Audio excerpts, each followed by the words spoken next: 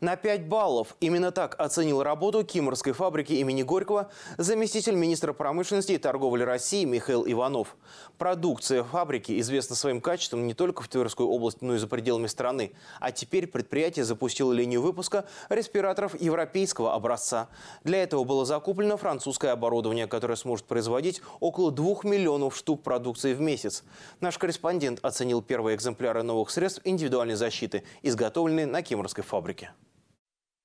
Молодой специалист-механик Дмитрий Пучков вместе с коллегами всего за несколько дней наладили и запустили новое зарубежное оборудование. Производительность этой французской техники исчисляется несколькими миллионами респираторов в месяц. Механизм полностью автоматизирован и заточен сразу на несколько операций. От запайки швов до упаковки. В качестве фильтрующего полотна используется мелбаун. Спайка швов производится с помощью ультразвукового генератора в связи с тем, что материал сам по себе при термическом нагревании теряет свои фильтрующие характеристики.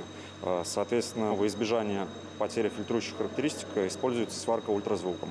Подобное производство работает за рубежом. Например, в Европе, в России, кроме Кимера, нигде такой техники пока нет. В 2020 году для расширения производства средств индивидуальной защиты Кимрская фабрика имени Горького получила заем Фонда развития промышленности Российской Федерации в рамках программы «Противоэпидемические проекты». На развитие производства направлено 61 миллион рублей.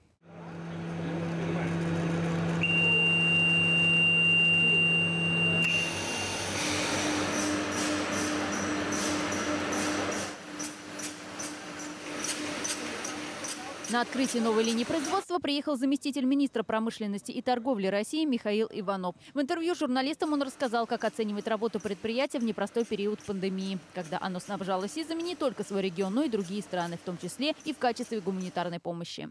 Только на примере одной кимрской фабрики имени Горького можно оценить э, э, работу предприятий Тверской области на пятерку, потому что сегодня с учетом мощностей, которые мы э, ввели, фактически треть объема производства респираторов в России приходится на эту площадку. Был подписан контракт на поставку продукции предприятия в адрес немецких заказчиков. И аналогичные контракты уже действуют на поставку в Чехию, Венгрию. Давно на потоке производства респиратор «Лепесток», «Спира-403» и ряд других моделей. На сегодняшний день собирается первая партия респираторов уже европейского образца «Спира-1000». Директор предприятия Игорь Жохов рассказал о преимуществе этой продукции. Принципиально новая конструкция, да, и она широко известна в Евросоюзе и Южной и Северной Америке. Она комфортно одевается, не дышать хорошо, у нее каркасность проходит, очень снимать, одевать хорошо. То есть э, гипераллергенные материалы, которые не, не, кожу не раздражают. Тогда. Это нам удалось знаете, реализовать такой масштабный проект, в мы сегодня с вами присутствуем. Да, конечно, без поддержки э, федеральных, региональных да, как бы, властей нам, конечно, было бы сложно самим это сделать. Нет такой модели респиратора, которую не смогла бы сейчас реализовать фабрика, уверен руководитель. В основном продукцию поставляют в медицинские учреждения. Теперь предприятие получило возможность расширить свою географию и наладить экспорт кимрских респираторов за рубеж. Это э, новая линейка продукции на новом оборудовании.